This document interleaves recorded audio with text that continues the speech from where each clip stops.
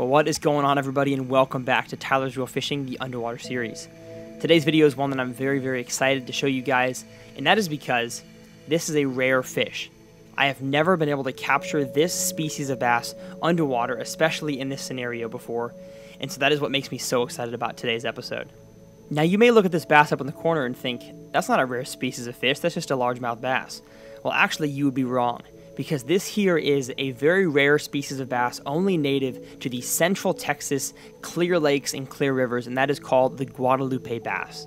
Now, the Guadalupe bass is the state fish of Texas, and in terms of behavior, size, and uh, you know forage and such, I think it closely resembles a spotted bass mixed with a smallmouth bass. So it's a very, very cool species of fish. But I've never seen a Guadalupe bass spawn up this shallow before, and so I had to take advantage and put the camera down on this fish. Now, when I first see a bass on a bed, there comes this decision I have to make on whether or not that fish is going to be catchable. And so when I throw my lure in there and I see the fish dart off and never come back, I know that fish is probably not quite ready to be caught yet. But this fish right here is displaying a behavior that 99% of cases means it may be hard to catch him, but he is ready to be caught at some point very soon. And that is it right there. He has showed interest in the lure. That's the, the first tip I'm going to give you guys is that when you're fishing for bedding bass, you want to find a fish that at least shows some kind of interest in your lure. I've had so many scenarios where I, I flip the bait down there, and of course the fish is committed, but the fish doesn't even show any kind of interest no matter how long I work the lure. And so in most cases, unless it's a giant, giant bass, I will move along from that fish. So once you've determined that a fish is in fact catchable, one of my first tactics that I like to do is wait for that fish, as you see here, to swim back to the bed without seeing your lure. Then you move it.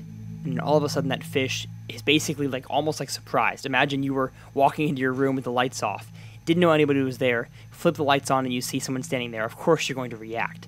That is exactly what I'm doing to this fish right here. I'm flipping my lure in there, in this case, my white craw, and I'm not allowing him to see the lure until he's already protecting his nest then I move the lure and he starts to react to it. So I will oftentimes repeat that process many, many times until that fish eventually A, completely eats the lure out of just pure surprise, or B, starts to show different signs of action that may require me to change up my tactics a little bit.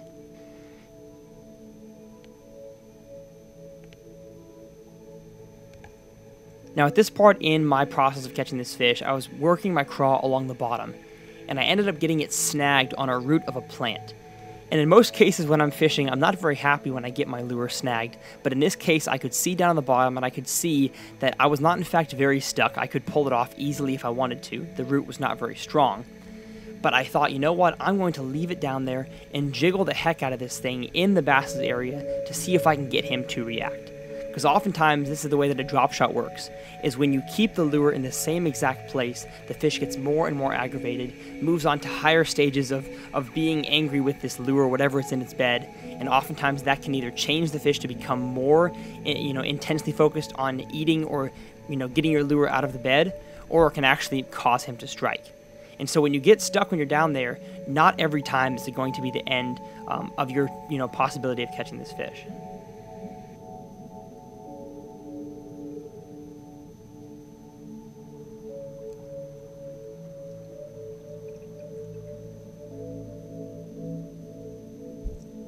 Now, if you missed that, take a look at the top of your screen and let's take another instant replay look at this scenario. This bass here was just protecting his nest, and then a carp decided to swim by, and whether or not his plan was to eat the bass's eggs, the bass doesn't know that, and so it has to be in a protective mode. And so if I see a fish that is having to protect his nest or is aggravated by an outside force beyond my control, as you can see here, I always make sure to have some kind of lure ready to throw in there. Because think about it. If somebody was getting you aggravated and you were throwing punches, and someone else was to jump in the ring, you would immediately want to, to, to punch them as well. And so that's exactly what I'm doing with this bass. Is that because he is aggravated from this carp swimming by, I'm going to try to take advantage of that and try to catch him when he's in an aggravated mood. And so, just like in most cases of, of bedding bass, this fish here reacted best when I let him swim onto the nest and I used a very fast retrieve to almost surprise him into biting. And boom, there he goes. But let's take an instant replay look at that real quick because I could tell this fish did not have the shank of the hook in his mouth. He basically just had, you know, the claws in the back half of the soft plastic. And so I jiggled around my lure a little bit in his mouth until he let go because I did not want to set the hook in that scenario.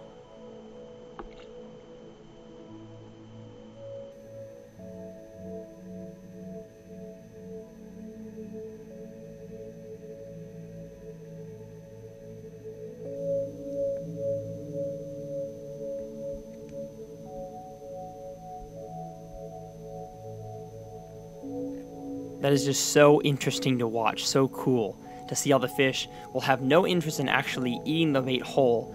He just wants to grab the tail of the craw and just kind of lift it off the bed and swim it away.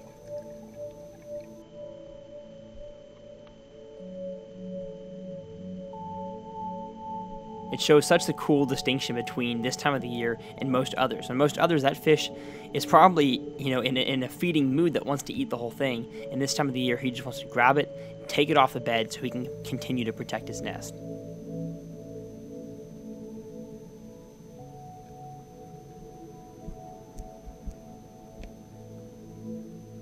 And there he goes. I got my first underwater fish catch of a Guadalupe bass. One of my, to be honest, bucket list items that I did not expect to get. So that is it for this video. I hope that you guys enjoyed. Please, please hit the subscribe button if you guys have not yet to join the TRF team. Um, of course, if you guys have any questions or comments, concerns, leave them down in the comment section below.